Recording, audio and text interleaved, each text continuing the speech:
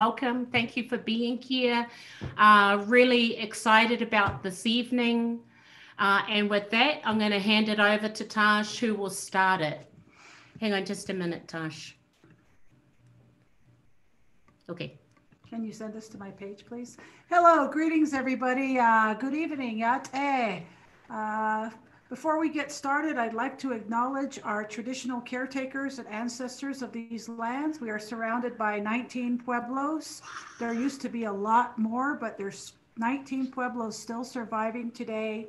So we're very grateful for that. And uh, we want to acknowledge all of your ancestors in the lands where you are currently residing and we all have ancestors. So we'd also like to acknowledge Mother Earth, who's housing all of us while we're here for a very short time in this short run we call life. And we also would like to honor Father Sky, who gives us all that we need, nourishment from the universe. And uh, just to let you all know that Indigenous Ways is a nonprofit that is dedicated to bridging cultural exchange with people globally. And that means all people we have no walls of separation. We have no discrimination. And we don't say, we're right and you're wrong. Because you know what? We all have a different experience and a different path. But you know what? We are all one. And that's what our ancestors have also told us from the very get go. So, just to let you know that our virtual events are recorded and archived on our website. So you can let your friends know if they want to see it at a later point, they can. And then we have our concert series on Friday nights where we have comedy, we have uh, poetry, we have music, we have all kinds of fun stuff. And then on Wednesday nights, we bring in very, very, very special people like uh, yeah. tonight. Uh, we bring in people we honor and respect for their walk on this red road.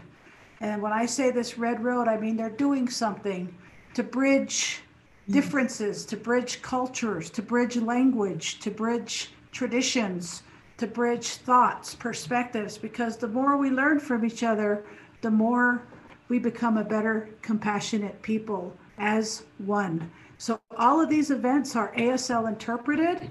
And tonight, I would like to give a very warm Welcome to Terry Vinson, always no, also known as TV. That's her sign name. Terry Vinson has been uh, on this path to bridge hearing and deaf culture for over 30 years. She decided that since she was deaf, she wanted to be able to communicate with hearing people. So she learned to speak for herself, meaning voice for herself. But she also learned American Sign Language at a very, very young age at the New Mexico School for the Deaf. And she decided to make it her mission in life to teach hearing people. So I'm going to let her talk about that. She's a very patient woman, she's a very compassionate woman who loves animals and always has animals that I've known of. And uh, Terry Vinson has taught many, many, many students. I'm one of them. Uh, and she has taught a lot of students that are now certified interpreters. And you know what? She's had a lot of patience with us because adult learners learn a lot slower than little tiny babies sign language, believe it or not. So, without much ado, I'm going to give it up for Terry Vinson. Woohoo!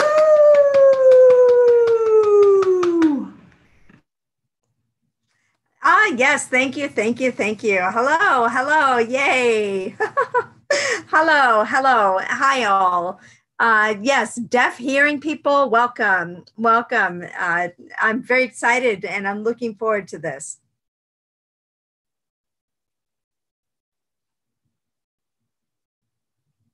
Uh, excuse me, right now it's a little bit windy out, and so I'm looking out a little bit um, at the wind. Uh, so let me introduce myself. My name is Terry Vinson, and my sign name is TV. I grew up here in Santa Fe, New Mexico. And there's no sign name for New Mexico, only sign NM. So we just sign NM. So because people think, oh, there's a sign, you know, New Mexico or New Mexico, like the country. No, no, uh, we just have the sign for NM. For New Mexico, just to let you know and sharing that. But anyway, I want to tell you um, that uh, I want to share my experience with you growing up. So, uh, my mother, my mother, and her name is Elra, and that's my mother.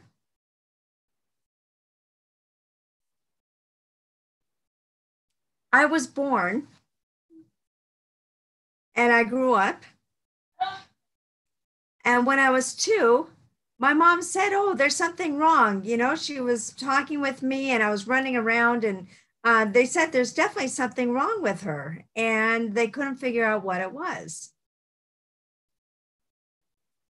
Uh, sorry, sorry. It's very windy out here. I'm so sorry.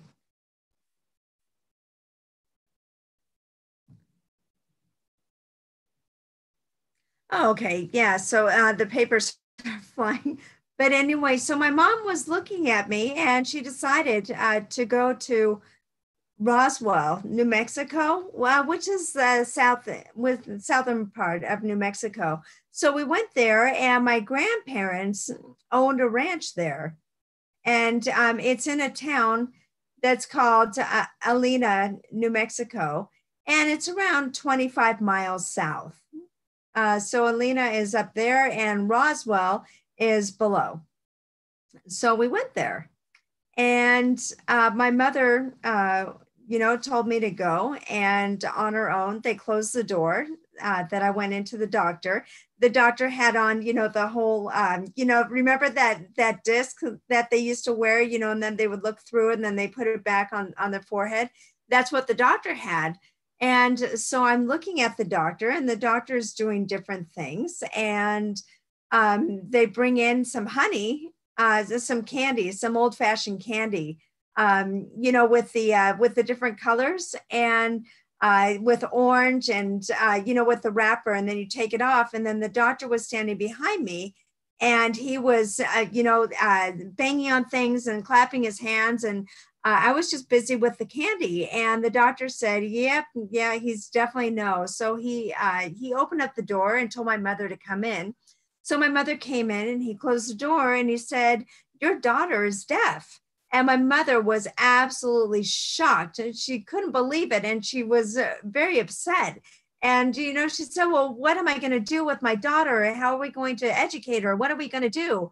And they said, Well, there's a deaf school and it's in Santa Fe, New Mexico. And my mom said, Really, really, there's a deaf school there. And the doctor uh, assured, uh, assured her that there was um, you know, they'll teach her how to read and write and how to interact with other children. And my mom was just, uh, so my, my parents brought me over uh, to the deaf school.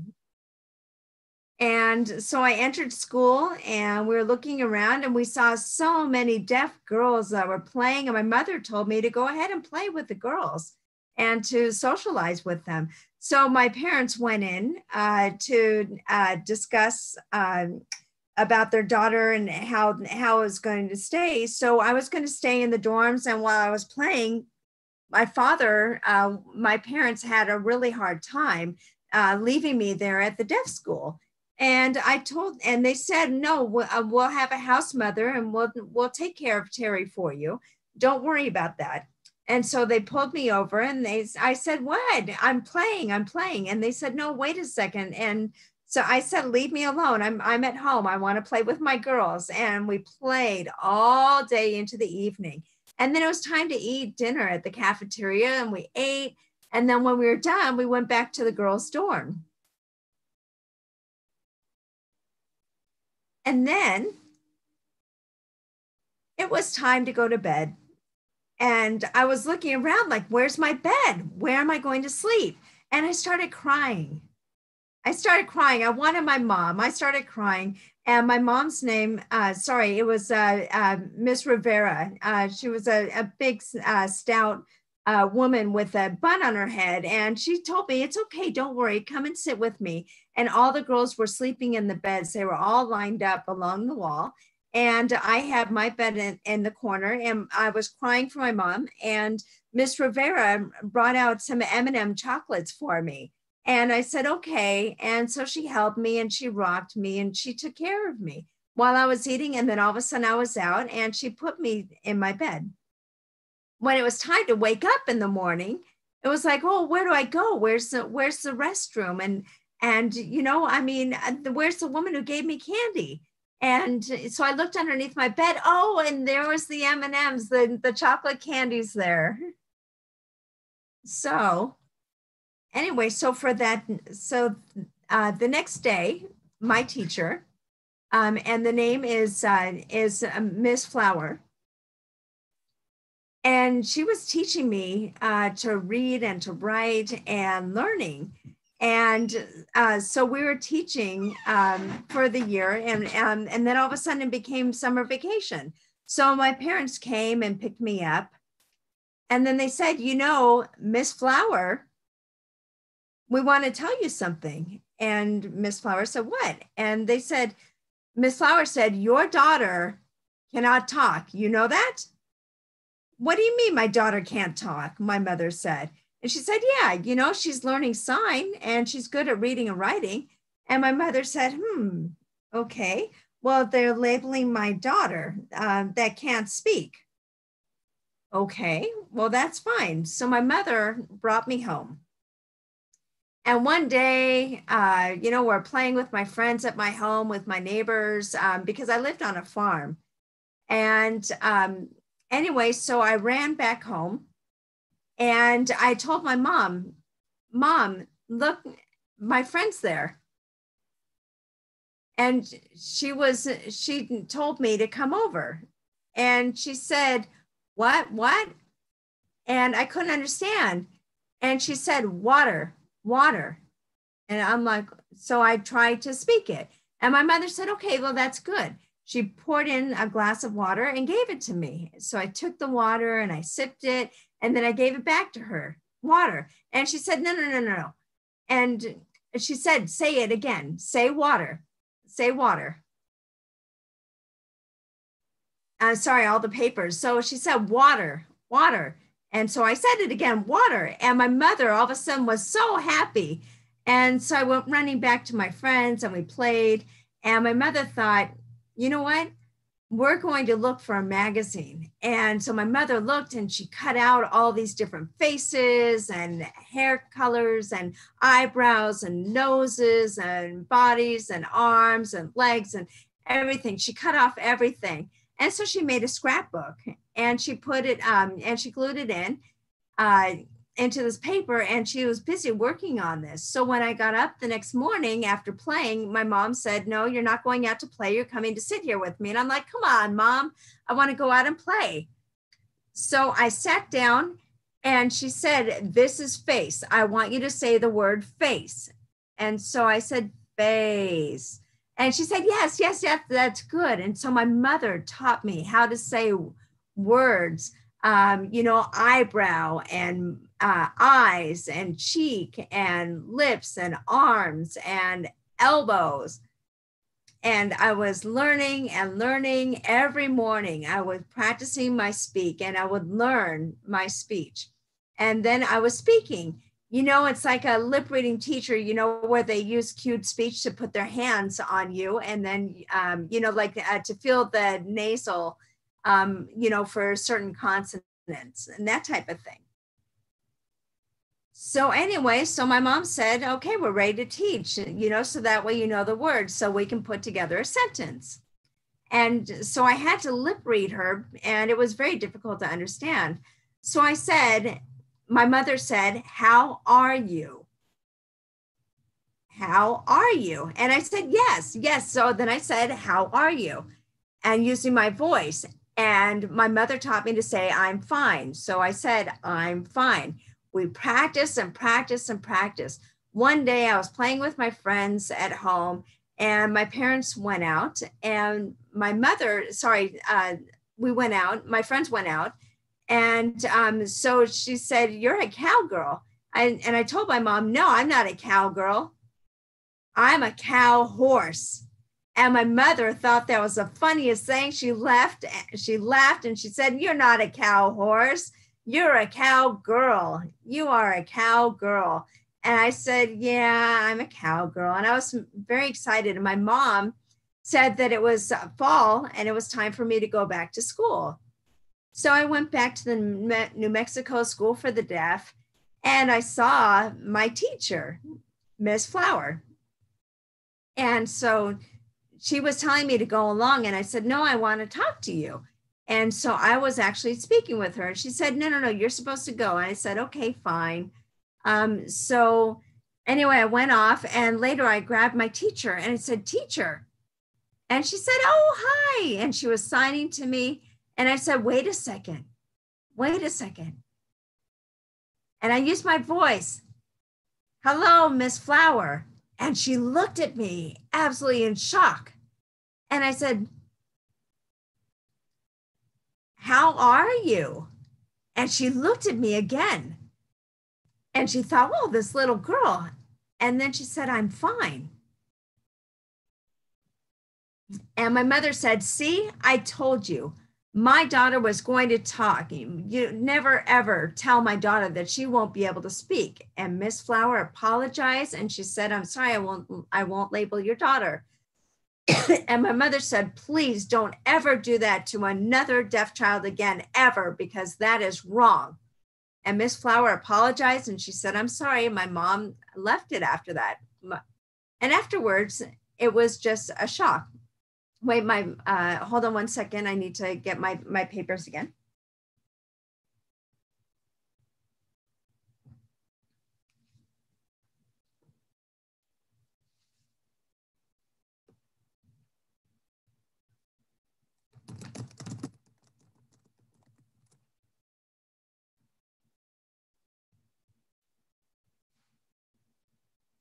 Okay, so anyway, so uh, I grew up and I learned how to speak with my family at home, and I used my voice.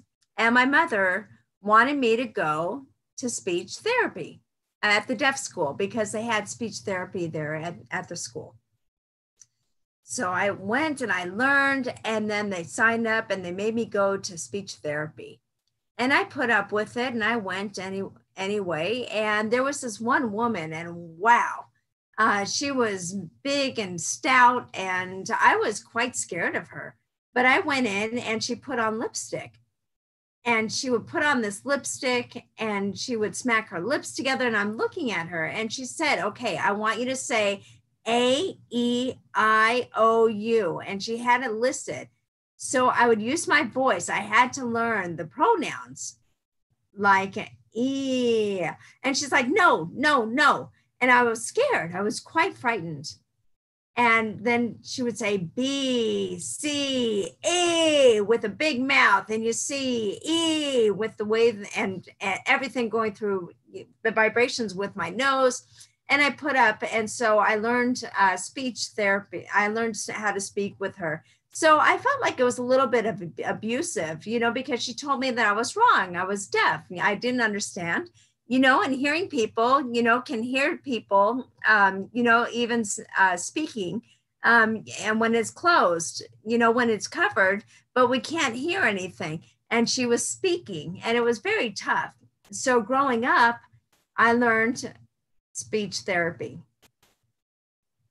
So the next day, well, I, then soon I was growing up with my family and we went on a holiday. It was uh, Easter and then Thanksgiving and, you know, just holidays. You know, I would go back home and I would use my voice. And uh, because my parents didn't sign, I just suffered, suffered through it and I would speak with them.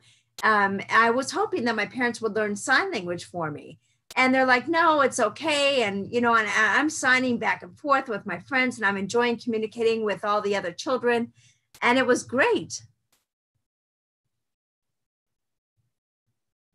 Later on the communication she would say what what did they say? What did they say? And i was constantly asking people. My family said no no no don't you know don't do that.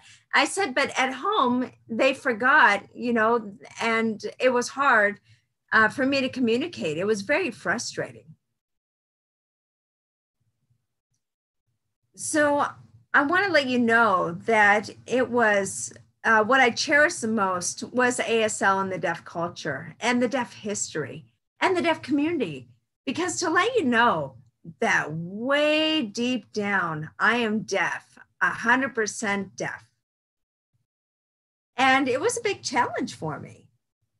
You know that the deaf, they're not, um, they're not disabled. Deaf people are not disabled. They are able to do, to use a different language. And it's just a beautiful culture. The deaf were all the same. There's black, there's Indian, uh, there's uh, uh, Mexican, there's Asian, there's white, and we are all unified. We're all deaf, and it feels good because we're all the same.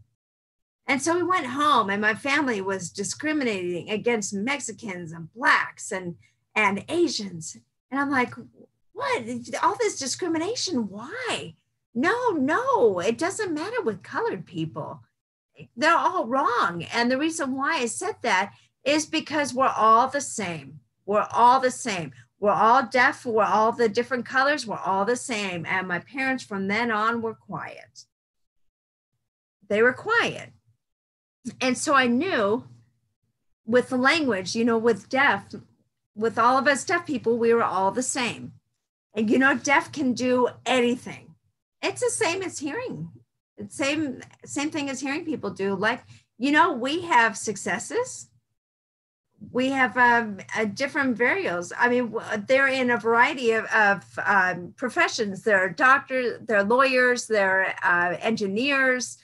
Um, you know, I mean, uh, we have deaf college professors that teach. Uh, we have uh, competitive, they're involved in competitive sports. Uh, we have actresses. And now we finally have deaf interpreters and deaf reporters. And where are they? They're in Washington, D.C. So kudos to them. They're very successful. So now, here, uh, well, now in New Mexico, uh, just recently, um, to let you know, you know, the uh, uh, we have the coronavirus, you know, and that's the sign, coronavirus. I'm not sure if you know the sign for coronavirus. It's awful. And you know, our governor, whose name is Michelle uh, Grisham, is really good. Uh, she's uh, made sure that when they were having coronavirus uh, discussions and press conferences, they made sure that there was a deaf interpreter. And so my friend was so excited. We have finally a deaf interpreter with the governor. And you know, and how how does that work with the deaf people because they can't hear? Well, they have another hearing interpreter who sits in front of them in a chair um, with all the reporters. And so, with that person, when the governor is speaking, they're looking at the governor and they speak and they sign, and then the deaf interpreter copies what the what the hearing interpreter is saying. They translate it, and so my friends are like, "Wow, this is so cool! We finally have a, a deaf interpreter." And now there's more and more new deaf interpreters all over, and it's just so exciting. Finally. So, um, you know, because uh, because uh, we have a hearing interpreter and a deaf interpreter, um, you know, so they team and they work together, and they they work together in unison. So sometimes the hearing interpreter uh, doesn't really understand, so they feed um, what the deaf person is saying and then they feed it um, so to the other people when they're speaking. So they sign um, the deaf and then it goes back and forth and it works really wonderful. And it's about time because back then we had interpreters um, and teachers at my time. And uh, so it was just the interpreters were, were our teachers. So for the deaf uh, one second. Ah, okay. So, you know, it's what's really interesting is to compare deaf culture and hearing culture. So we'll compare the two. With the deaf culture, they tend to be very blunt. And hearing culture, they tend to sugarcoat everything and they're not really telling the truth. And what I mean by that is with deaf people, deaf will say, Wow, you're fat. Why? What happened? And they said, Oh, I just eat a lot. And they say, Oh, okay. But with uh, the hearing people say, Oh, you're pretty, you know, but uh, they don't say you're fat. They'll say, they'll sugarcoat it and they are not telling the truth. And deaf culture, they're very blunt.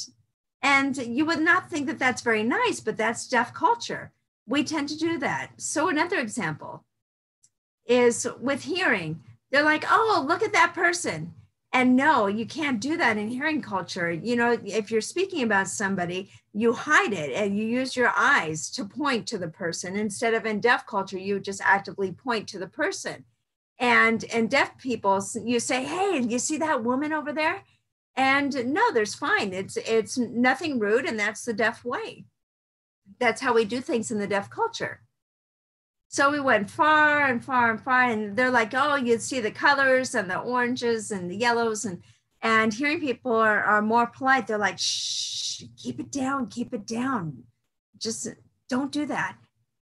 And with the hearing people, we tend to have, um, you know, when we're going to the grocery market, you raise up your chin, you know, when you're pointing to somebody. And uh, you know, so you you point your chin, and that's like, "Hi, how are you?" That type of thing. And you know, and so that's how you acknowledge people is, is by the nod of, of your chin.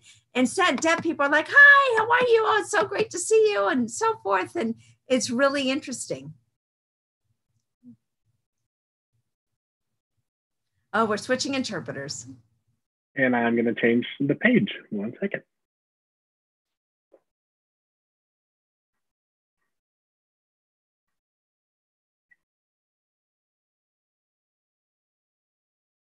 All right, let me get this.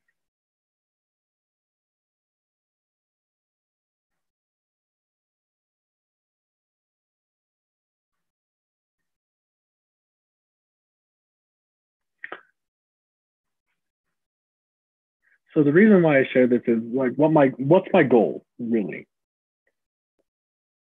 Experiencing all this, I wanted to be a bridge between the hearing communities and the deaf community. I wanted us to meet in the middle and come together. I wanted to connect the deaf and hearing communities. And so I became a teacher. I taught hearing people. And, you know, I was just so sick of going um, home with my own family and having to suffer through speaking and everything. And now my parents are gone. And I know that I need to teach uh, more hearing people how to sign. Anyway.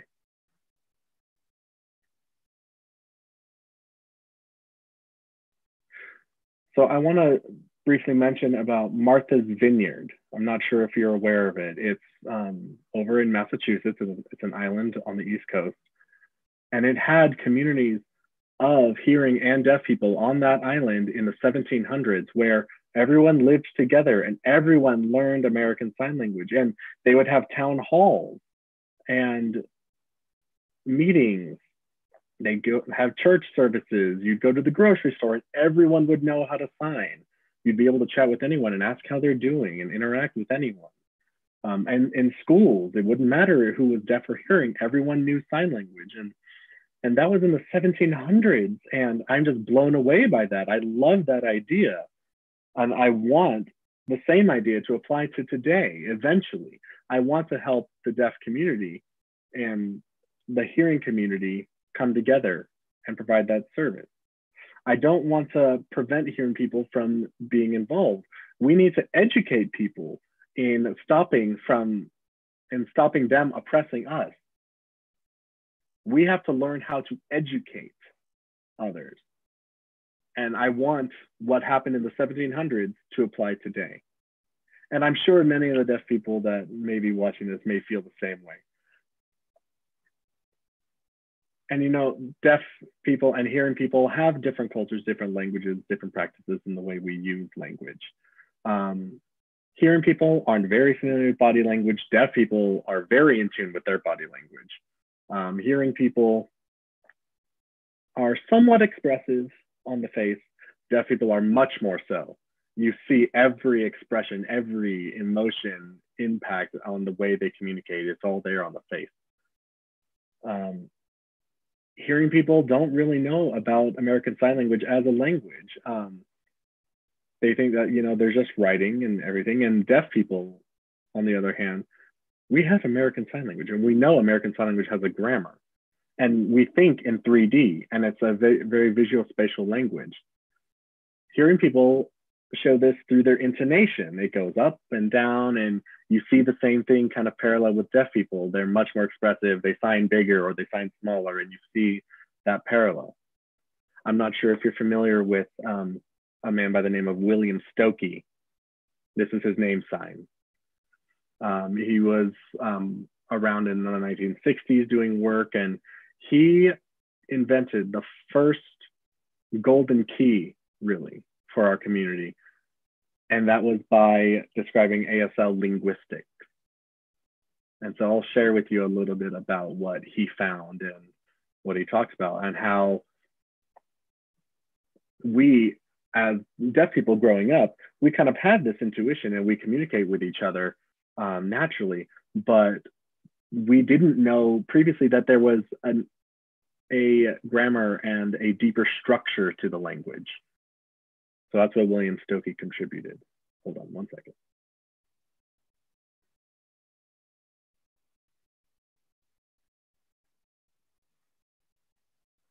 Trying to move along a little bit fast. Hold on.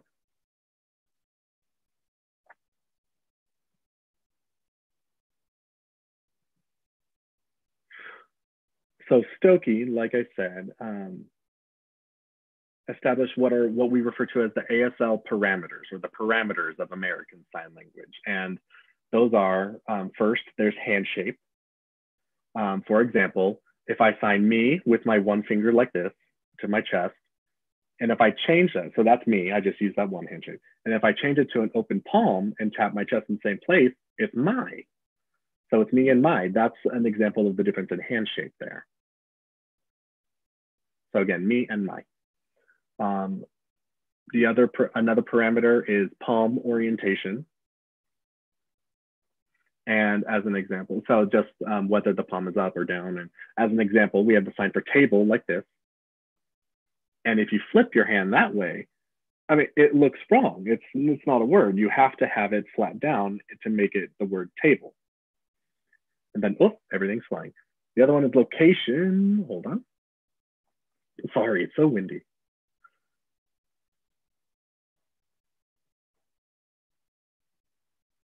So location is the third parameter.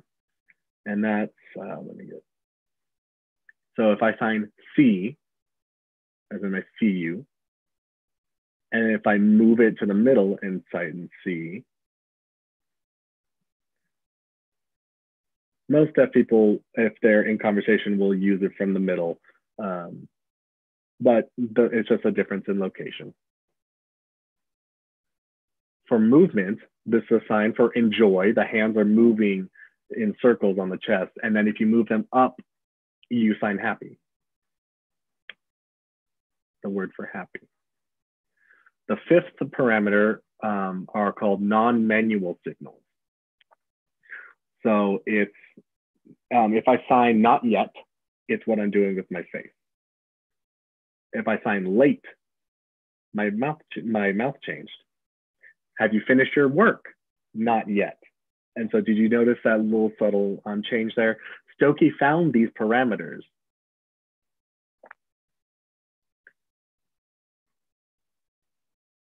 And so um, we also have differences in present tense versus past tense um, grammatically. Um, so first one, you would say, I'm learning ASL. And then if you change it to past tense, I learned ASL, and you would add that sign for finish to give you the past tense. Um, I have a motorcycle. Past tense, I had a motorcycle. Again, using that finish sign. Um, at another example, at nine, I'm going to school. Past tense, I would say, at nine, I finish, go to school. Always using that finish word for to establish past tense. So current present tense, I live in California. Past tense, before I lived in California. And so that's um, just that's what Stokoe identified and saw what was being used. And then we have differences in how you produce nouns and verbs. Nouns, chair, for example, and then the verb for sit is just one movement. So again, a noun, you have this double movement with airplane. Verb, if you just move it in one motion, it means to fly. And if uh, now the noun scissors and the verb to cut is to just add a single motion.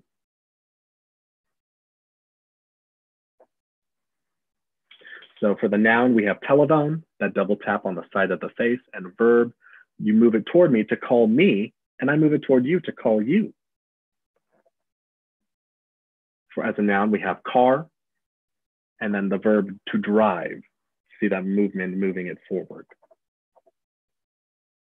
And we also have rules with our numbers. Like for example, um, if we're talking about age, we come at the chin and we say one, two years old, three years old, four years old, to six years old, seven years old, eight years old, nine years old. But when you go to nine, you tap it with the finger and then go to 10. Once you hit 10, there's no real rule on how you have to cite, say, age. And then you have um, rules with time, oh, um, the o'clock rules, one o'clock, two o'clock, uh, three o'clock, five o'clock, eight o'clock, always tapping the wrist here.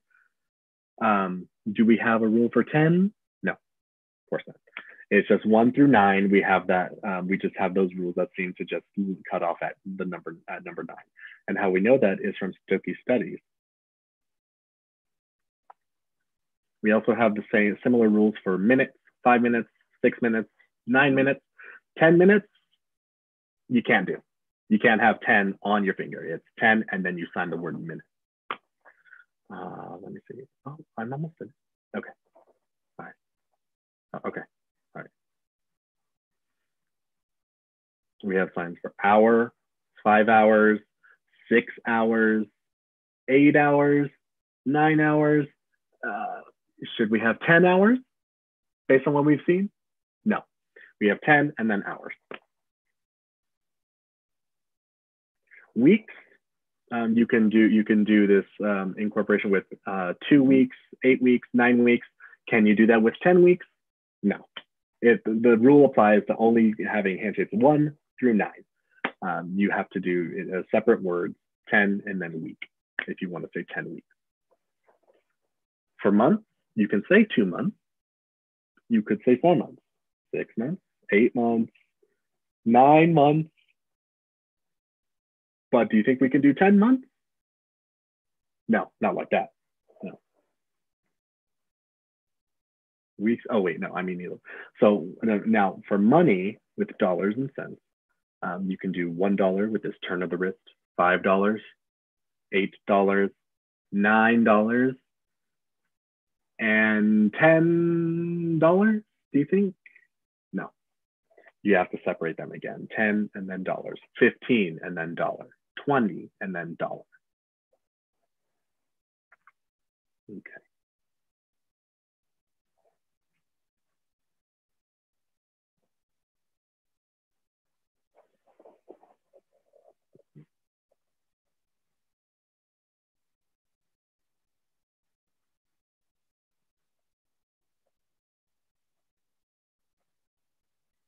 So we have WH, um, that is to say WH questions, um, like what or where, um, when, who, why, uh, let's see, how.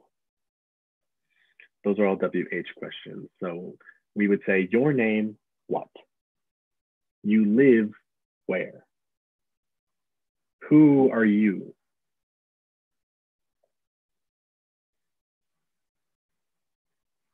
And then we also have question markers um, for WH questions. Your eyebrows tend to go down and express it that way. And we have a question mark for a yes or no, and that's with the eyebrows up. You can add this little question mark hand shape or point, but the eyebrows are up. And then do you enjoy work with the eyebrows up? And then someone will answer, yes, I do enjoy working. And then I would say with my eyebrows up, do you see that woman over there? And then the person might respond, no, I don't see that woman. But these are examples with the eyebrows. Are you he a hearing person?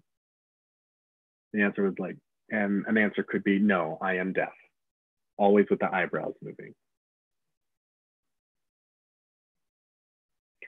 And that brings us to kind of topic comment structures, topic and comment.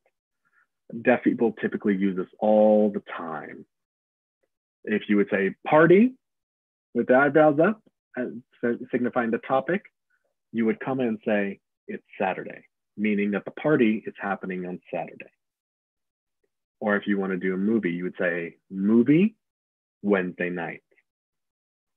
And you could do that as a question, having your eyebrows up the whole way. Movie Wednesday night, and then someone could say yes. And then if we go to a bas- if we do a basketball game, for as an example of a topic comment, we would say basketball game, and then comment say won, as in we won that basketball game. It's that topic comment structure that is frequently used by deaf people. I know that it's a lot, but it's really important that um, we all learn this and that you've learned this. We also have what are called classifiers. And it's really interesting. Um, they're called CL for, for short um, when we sign in ASL. Um, so if we use CLB, for example, the B handshake, this is word for walk or room. These are all with the classifier handshake of B to depict the walking of the feet and the walls of the room.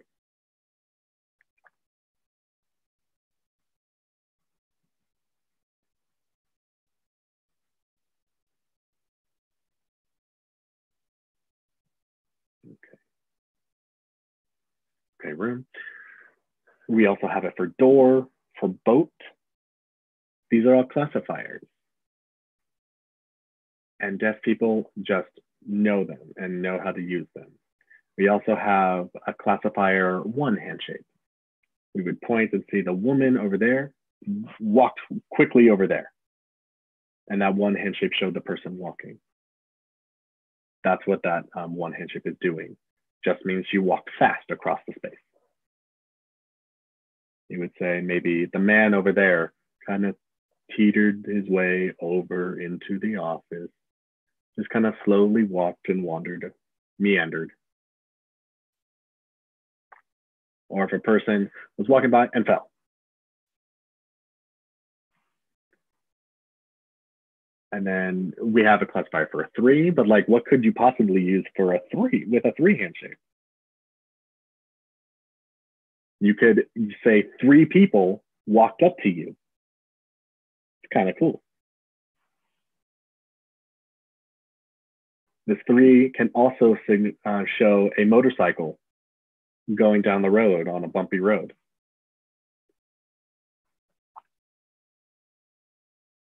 And if there are two cars side by side racing each other, you can show that with both hands, both showing that three, um, that classifier three handshake. Classifiers are really interesting. They're really cool. And then we have CLV. And you say, I like going to the store to look around at what I'm doing. And that's what that V comes in. It's showing me uh, move my eyes up and down, perusing the choices. Or I like to keep a close eye and watch. Watch for people who might steal my money and it's all there in the facial expression too. And you have two sets of eyes. You're so diligent. And that man over there, he's just staring at me. And as soon as I look the other way, he looks away. And then I'm back to normal. I, uh, I'm looking straight ahead again, I can feel him looking at me, looking at me. It's those two kind of orientations of the way the eyes kind of move up and down.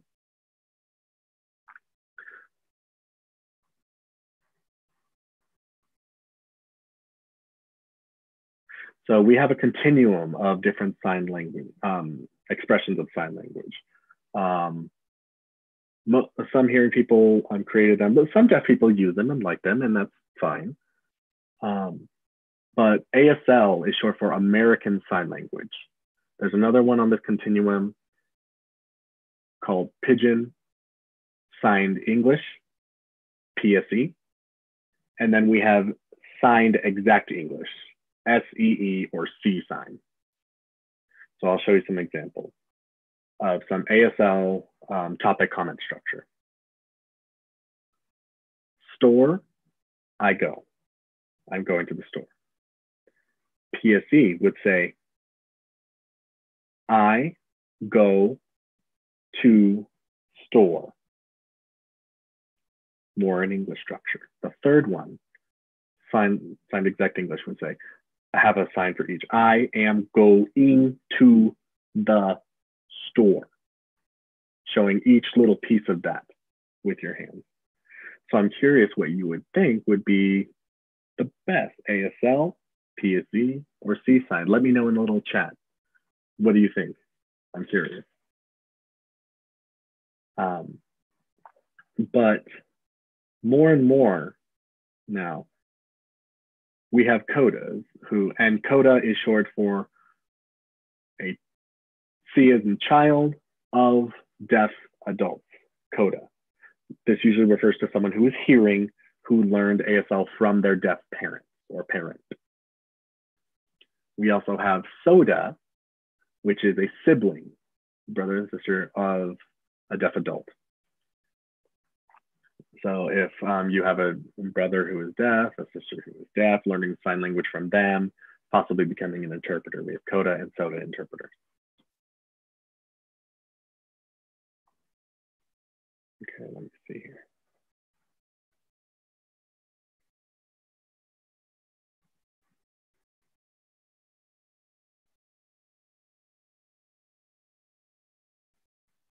So today, more and more and more, um, we have deaf interpreters. We're starting to gain some ground in that, and that's great. Deaf can, deaf people can succeed in this way, and I am thrilled. You can be an interpreter if you want to help deaf people and interpret for hearing people. Like you can do that. You can show what deaf being deaf means. If you as a deaf person go to an appointment and you're not understanding what the hearing interpreter is signing, you can call and request for a deaf interpreter to come and clarify that and help uh, mediate the conversation better.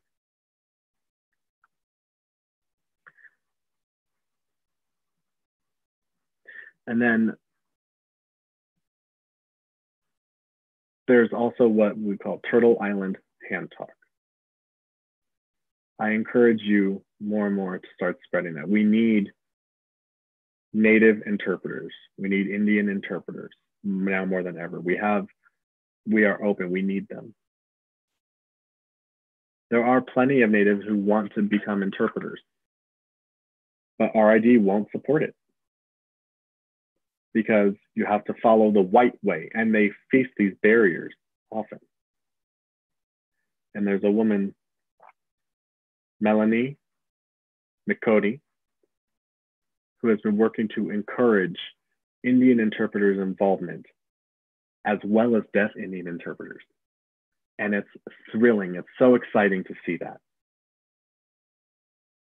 Trying to push out RID's strict rules and guidance of recognizing the rights of people who grew up on reservations who want to help deaf Indian service and serve them better because there's that camaraderie, that that similar identity that's different from the white world that is run that RID helps run and perpetuate and critique. We need to educate and help them learn and understand.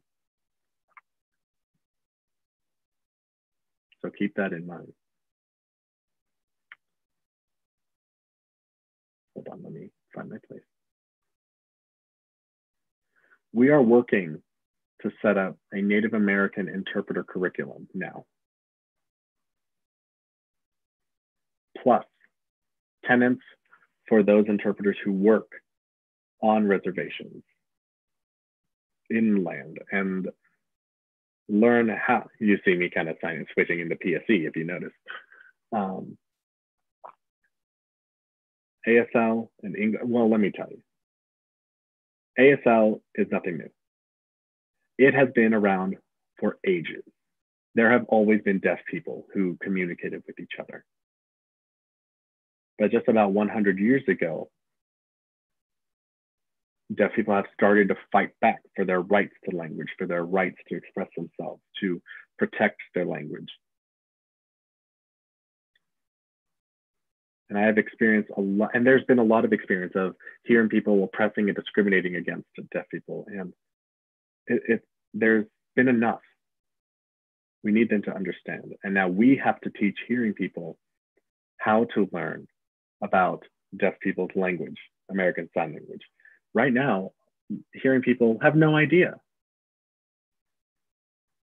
But there's no, so they have these excuses of ignorance, and it's our time to teach them and build better community services for the future here in the USA. We need to help them learn ASL. The same way people learn ASL, learn French, learn Spanish, and other languages. Like, what's wrong with that? Like, this is America. The people are here who use these languages. So my goal is that I believe we, we can be better. And so now I want to practice a little bit with some expressions. I want you to practice with your eyebrow movement. Your name, what? My name, and then you spell your name. You say, nice to meet you. See you later. Take care. Bye-bye. Come on, practice. Uh, you want you want to learn and want to practice? So your name, what? With your eyebrows. I want to see the eyebrows showing the WH question. Nice to meet you. See you later. Deaf people typically spend them this much faster and it kind of comes off as see you later, see you later. It's very quick, that movement, that change. Take care. Bye-bye. So one more and then we'll, we'll be done.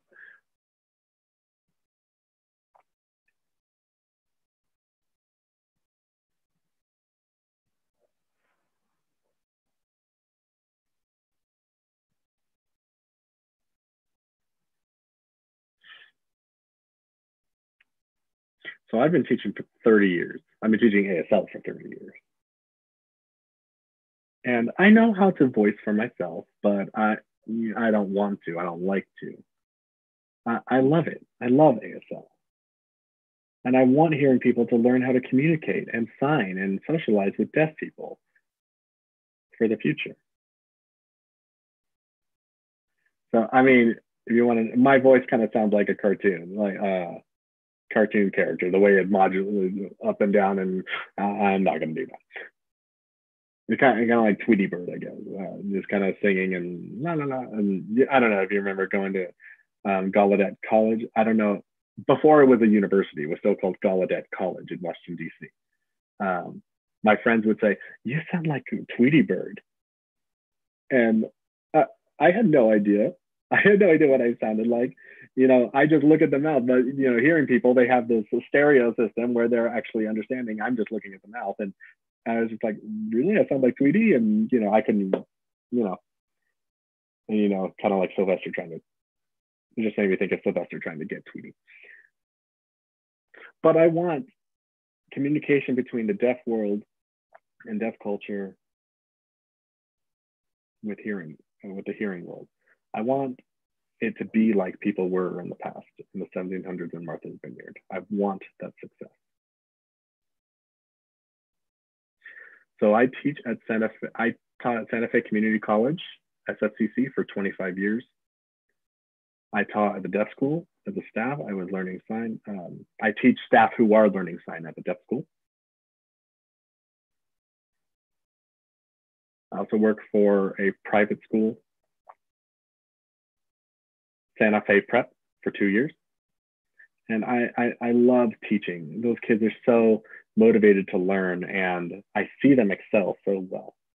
Um, and they love the classifiers and their facial expressions, and they really go at it with, um, you know, racing cars and the way they make them turn, and they really show it.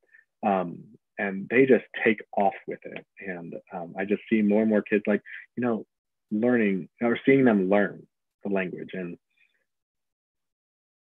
I used to work um, teaching waiters how to sign at different restaurants. And, and so many times the waiters would learn how to say, do you want red or green chili? And this is the New Mexico sign for um, chili. And so deaf people would respond, I want green chili. I want Christmas chili.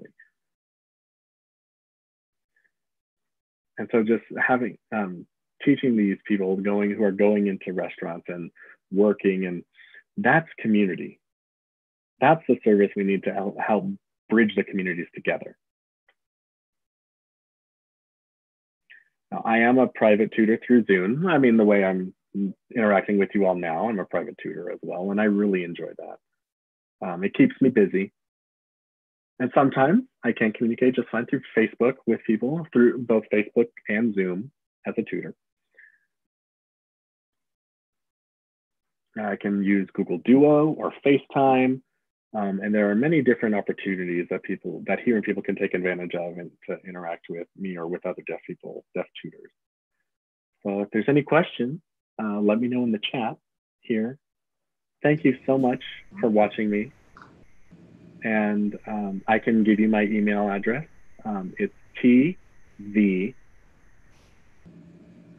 def, D-E-A-F, 77 at gmail.com. My texting um, number, if you feel if you feel like texting, is 505 795 6804. I'll see you later. You take care. Bye bye. And Elena saying, Thank you. Thank you, Terry. It was wonderful having you. Thank you. And thank you for teaching all those signs. We love you.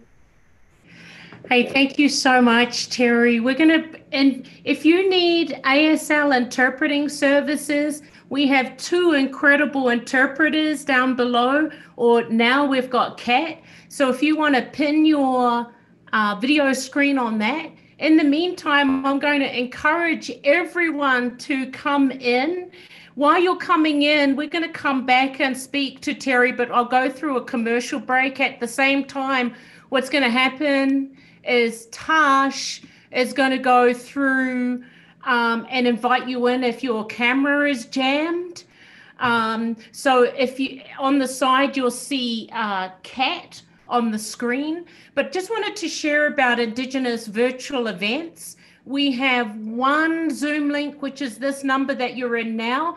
We have had the wonderful wisdom shared by this incredible Terry Vinson teaching a little bit about deaf history, the native uh, AS or native uh, deaf, um, and a little bit of teaching with sign language, which was very, very powerful. So, and then on Fridays, we have the concert series. This Friday, we've got the beautiful Chris Matthews who will be blessing us. Six o'clock, same address. As Tash said earlier, all our events have ASL interpreters. Uh, so ex- exclusivity for all. And then, believe it or not, next week, it's the beginning of June. Who would have thought? Which means we've got a whole new re- awesome amount of artists. And so, gracing us and coming back to the Wisdom Circle, because he's a motivational speaker. We had him in uh, the first with uh, the concert series. Anyway, he'll be back next Wednesday, Ernie Sosi, and uh, we'll be sharing some wonderful wisdoms on Wednesday next week. And if you go to our website, indigenousways.org, virtual events, you're going to see our brand spanking new uh, events for June. We have this incredible smorgasbord presenters for Wednesday Wisdom Circle and also um, musicians and artists who will be here for uh, Friday. So go to the website, download that, book in when you want to be here because we want to see you back here. Um, as you all know, our electronics are here, and if you are beaming in um, on social media and you want to get in, go to the website, get the uh, Zoom address, and come in so you can share a little bit with uh, Terry. Also, please, if you haven't already, liked our Facebook, like all our pages, our YouTube, etc., etc. If you don't receive our um, newsletter, be sure to sign up, and that's at the bottom of our page. Uh, we've also got a donate button. Uh, all our events, there's no cost. One of the reasons why we're here is because we organize uh, and produce events. And because of uh, our pandemic, our glo- global pandemic, we went straight online. So if you haven't seen any of the videos and you're new, go into the virtual ways. There's like 18 videos. So we do twice a week, Wednesday, Friday. All of these are recorded access for everyone, amazing presentations on Wednesday, and then incredible stuff going on on Fridays. Our theme throughout all of this is rising and resilience because the only way that we can get through this pandemic is together. And so, like Terry shared at the beginning of her story of growing up deaf, how oppressive that was with us, the hearing, but look at what she has done, her rising, her resilience. And that's how we get through this together. That's why we've created the Indigenous Ways virtual events. So if you are able to donate, we've got a PayPal, Venmo. You can also go to our Indigenous Ways do- donate and then we've had a lot of people that don't like the electronics and so they've sent us um, checks through the mail which we're really grateful of. That helps us with our interpreters and also our uh, presenters who come through friday and wednesdays. A lot of you know or if you don't we just came back from the navajo nation uh, black mountain doing a relief run uh, that community there Tasha's grandmother was born up there, so was her mother. Tasha and her beautiful sister, who's on, Michelle Redmond, they grew up as little kids with their grandmother in Black Mountain. And we found out that there was no uh, supplies or food going up to them. So, two Wednesdays ago, we announced that, and then we took off a week later. Um, these are the pictures from that journey and we took off a week later with 3000 over $3000 that you had donated to um, to feed the 40 families up on the mountain. Um, one of the things that you haven't seen that i want to share with you is this. Good morning Shiche. i'm calling from black mesa community. I'm one of the community members and I have, we have received food donations that you donated from your sister and you and the friends that you have, people that you know that are donated some food to us. We are very thankful and we are just so amazed about you, you too. Share, share with instruction it was really a blessing. Thank you so much. In return, the mighty Lord, the Almighty Lord will bless you with a lot of good things in health and material. Thank you so much. This is Mrs. Jane Ballou calling from Black Mesa. Your mother was Manali. I know her. Thank you.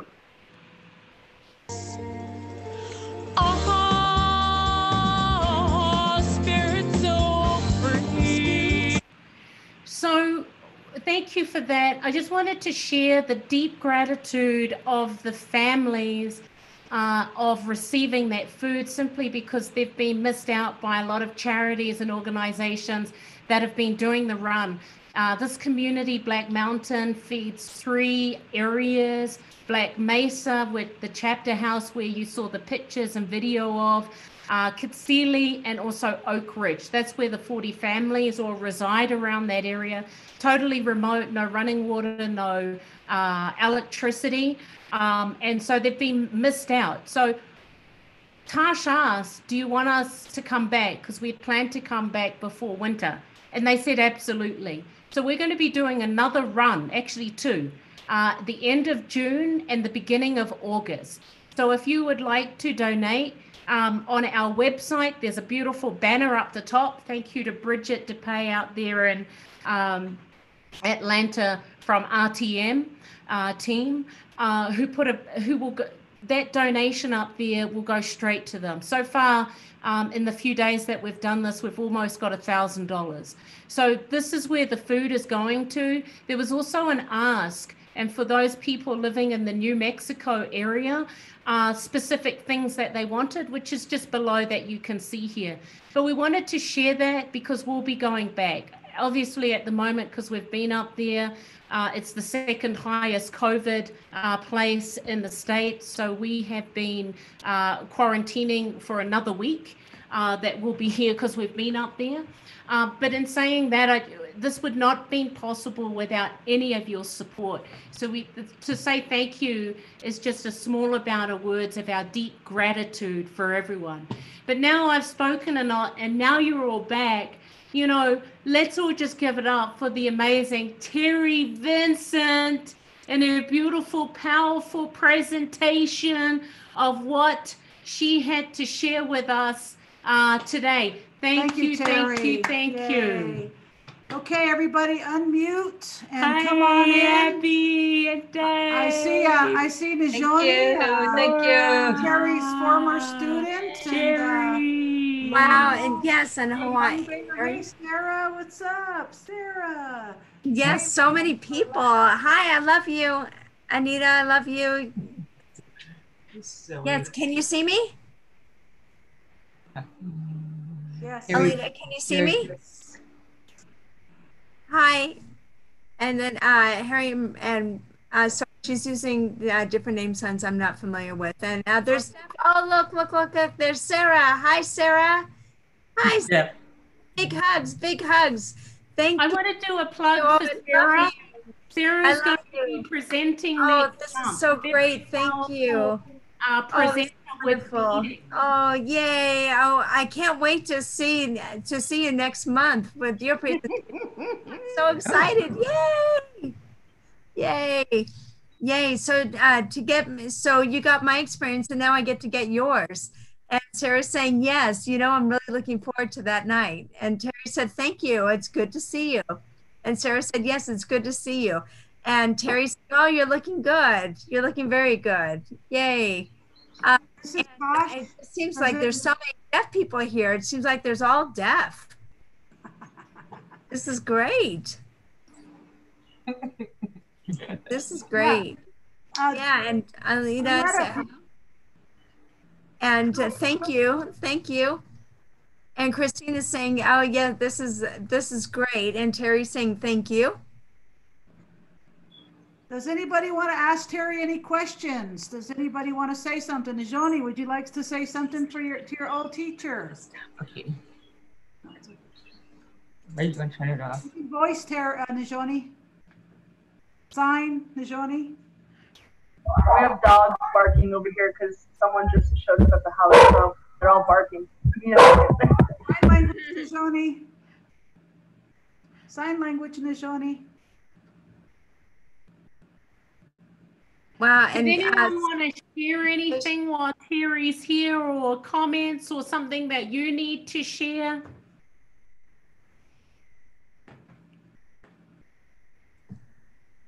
Does anybody want to say anything to me? Hello. Hello, uh, Sarah. Sarah. Sarah, can you see me? Sarah. Remember, remember Sarah and um and then the A sign. Sorry, I I don't remember who that is. Uh, with Arletta. Arletta. A. Oh, Arletta. Thank you. Um, yeah, remember uh, she's um she's from Arizona. Arletta. Yes. Yeah, Arletta. Remember, Arletta, that's her name sign. Yes, and um, so she's um, she's in Arizona. She's in Southern. Uh, she's deaf and she's a little bit shy, so she won't communicate with us, I guess. Did I meet her at the palace? And let's see. Um, oh, Who? so, What? yeah. Did you get the land? Um, did you go back home to your land? No. No, no. It's uh, with uh, with Dennis Hong. Remember um, hmm when we, we went there with him uh, to to his house with with Arletta? Yeah, Oh, yeah, okay. Oh, wow. I really can't remember. Hey, yeah. guys, I think Arletta's really new to this. Somebody This needs to one, yeah. contact David? Arletta. Hi, Arletta.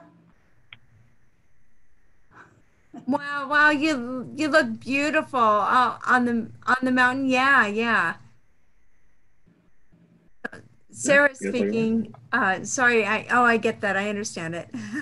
Hey, I want to give a plug because we've got so many wonderful people here. I want to give a plug to Laura, also Richard, who's on the line from Ohio. They've got this beautiful uh, Uh, Deaf Think Positive. It's a rehabilitation center for deaf and blind people to get sober and get creative and learn to do artwork. This lady with the gorgeous silver hair that's doing the cool sign like this with her fingers going like this. That's Laura. She's the one that started the uh, Deaf Think Positive for for the deaf. Me and Elena went there and met a lot of her clients, and that was really awesome. Hey, Shell. And Caleb, as always, nice to see you. Caleb! Caleb! Caleb! Hey, are you still in Santa Fe or have you gone down to uh, Florida? Oh, no, I'm still here. I'm still here. I have books for you, Caleb. I have books for you. Let me know. So there's a couple Okay, of good. things. It was Jerry's birthday yesterday. Happy birthday, Jerry! And also our wonderful sister uh, Rachel Shalpy. She just finished her semester first with her masters. So congratulations, uh, Shell. Now you're free. Get in trouble. Free to get in trouble. Hey. But I want to, I do want to say this. But you can see Sarah Youngbear. We're really honored because at the end of next month, Sarah will be um, coming in and presenting. She is an extraordinary beater. Generations. She goes back generations of beating. So she's going to be presenting amazing stuff. So please be sure to come in this time next month at the end of the month. But as I said, we've got a whole slew of incredible people, including Jerry Barney. uh, including Sarah. Who else we've got on the line um, with the Wisdom Circle as well as the beautiful Jerry Barney? She's going to be the second Wednesday um, of June, and she and a lot of you have been here with her beautiful prayers that she has when we close out in the circle. So very, very grateful. We've got such a slew. So be sure to go on the website or in the chat box. There's all our links, and also you can download uh, the calendar for both Wisdom Circle and also for uh, concert series. Hi, Christine. Nice to see you. Christine and Yeah, Donna. We got to stay at the house in Ohio. Right on. cool. Thank you so much and Love being you here. all. Thank we got you. a lot of Ohioans. Got a lot Is of what- Ohioans. Ohioans. Missy, I love you. Missy, you're my hero forever. That's my sister, everybody. That's my sister. Guess what? She's a lawyer. She's a Navajo lawyer, everybody. Hey, Aletta, you've been very quiet. Is there anything you want to say?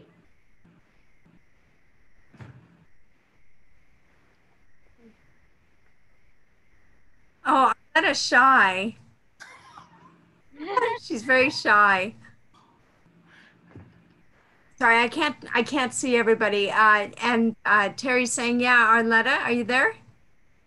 Hi. Yes. Oh, and you gave us the the food. It, it's somebody uh, connecting um, on um, Black Mountain. Uh, you gave us the food for Black Mountain and all the people there, and you bought all the food, and that was wonderful. And Terry saying, yes, uh, yeah, it's great to be able to support to support everybody. Yes. So I'm giving everybody pats on the back uh, to Tosh and Elena and everybody. Hey, there's um. I just saw Cheryl. Cheryl just popped in. Cheryl Stone Rock. I don't want to embarrass you or anything, but I just really want to lift you. When Tash and I were in uh, on tour last summer and being in Ohio with Donna and Christine, we had the pleasure of also meeting the beautiful Laura who brought us into Deaf Think Positive. One of her extraordinary, uh, I don't know, clientele people that were there was Cheryl uh, Stone Rock and her husband. And I'm saying this because uh, we were just so deeply moved by that artwork. So we were sitting there and they shared their artwork with us. And I've got to say, Chris, Cheryl's artwork was just phenomenal, very, very powerful. And with her story, I was we were both so deeply moved and so deeply touched in a place where she connected to to bring that out in a healing sense through her art.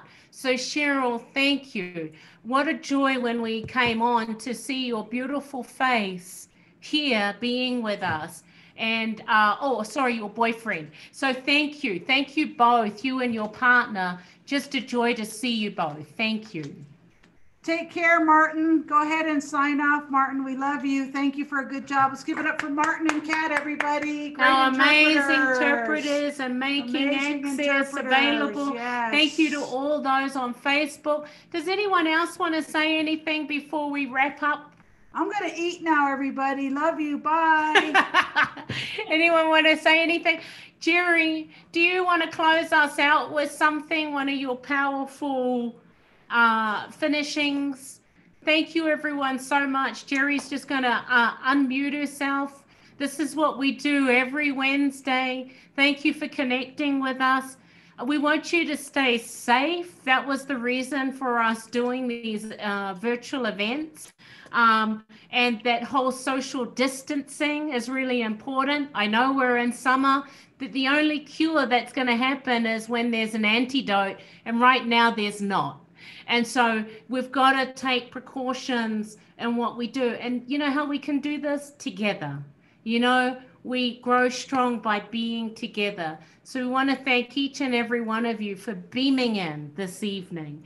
Um, thank you for the things that you do to be safe because we want to see you back here next Friday with Christine Matthews, Chris Matthews, or back at the um, Sacred Circle with a comedian, motivational speaker, um, Ernie Tsosie.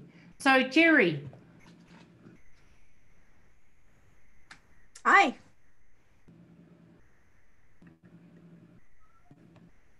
Hello. Yeah. Salut. Salut. Um, can you hear me? Yes. Um, Yat A, uh, Geraldine Barney Inchia. Um, hello, everyone. My name is Geraldine Barney. Yat A, Yat A, Yat A. Um, hope life is well with you. And Ahiha TV for your um, information you. and education and um, your thoughts of moving forward to be inclusive, to be inclusive with um, expression, inclusive with what is coming from the heart that comes out facially, emotionally, and I can really see the difference um, that occurs and the language that is through the muscles of the face and the gestures and the posturing. Um, I um, am a dear friend, or my dear friend Tosh. Um, I never really um, came across until I had met her um, signing, um, and it's it's uh, it's it seems like, well, to me, it seems like it's more. It's more than what I can offer. audibly, uh, visually, you know, and hearing. It seems like there is a lot more there and something I am missing. and I would like to learn and to know more as well. Uh, yeah, um, yes, that that is as well. Thank you. Um, Yate, great spirit, um, um, creator, um, bless us all today to come together and to understand that there is a visual language that um, is needed and is needs to grow, just like the different languages of of the the Colitz people, the tribe, uh, the different tribes, the different Pueblo tribes, the Navajo, the Zuni Pueblo, uh, Laguna, um, Wampanoag, and to be cross cultural and to learn. There's a whole lot more to learn. And we're, I'm very grateful. Yeah, thank you for today. Thank you for everyone who is here um, together inclusively. Um, bless your hearts, um, bless your minds. Take care of yourself. Yeah, hojona hasklin, hojona hasklin, hojona hasklin, hojona hasklin. For everybody, Thank that you. that is the uh, the essence of the Navajo prayer is the beauty way it is. We say it four times. Hojona Hastli, we say it four times. And it means the beauty way it is, so it is. So thank you, Jerry Barney. We love you, Terry Vinson, and everybody that's on tonight. We love, love, love you. Yeah. We so appreciate our ASL interpreters. And Missy, you are a rock star. That's my sister. you guys. um, Sarah Young Bear, me and you, we need to talk. Let's talk soon, okay, Sarah? Arletta, we're gonna take. Oh, Arletta, do you want to talk? Okay.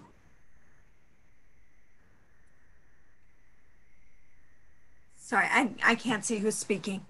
Okay. Sorry. Okay, Sorry. Arletta, we'll we'll talk later. Okay, I'll, I'll contact Demetrius and we'll I'll talk to you. I'll call you in about an hour, Arletta. The meeting, the the event's over now, Arletta.